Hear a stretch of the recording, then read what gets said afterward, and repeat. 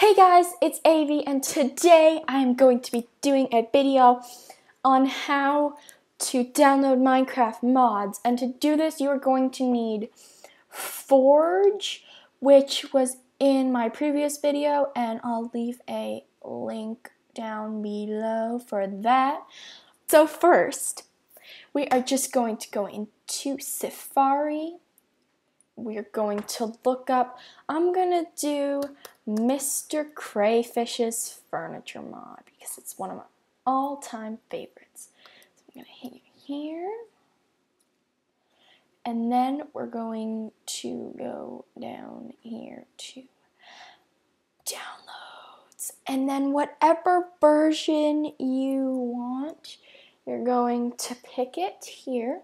So I'm going to do version 1.10.2. So we just hit this. Here we have an ad that comes up like usual. Just going to wait here and then we're going to click in this big skip ad button. Download starting. Three, two, one. Enjoy. So it's going to fly up here. So now we're going to go up into Go. We're going to hit Go to folder. And this library application support should just pop up here. And I'll leave this also in the down below description just in case you don't have that. So we're going to hit go. And then we're just going to look for Minecraft. We're going to hit it. And then we're just going to go into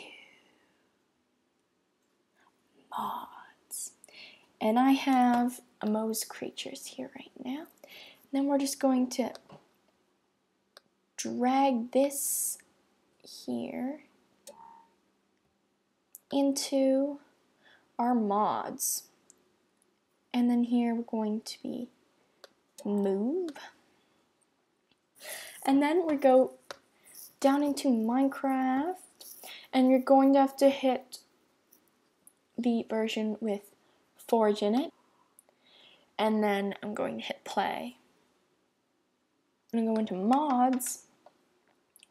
And here we have Mr. Crayfish's furniture mod.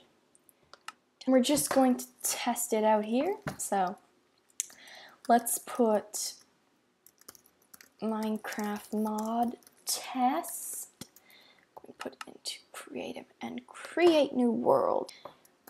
Here we have this that should come up to let you know that you have successfully downloaded your mod. Okay guys, that is the end of my video today and I hope you really enjoyed it and I hope it was really I hope it was really informative and I hope it got you where you needed to be. And don't forget to like, subscribe, comment, look a cute little bird. Don't forget to like, subscribe, comment, and just check out Asa Crafters. Thanks, guys. Bye.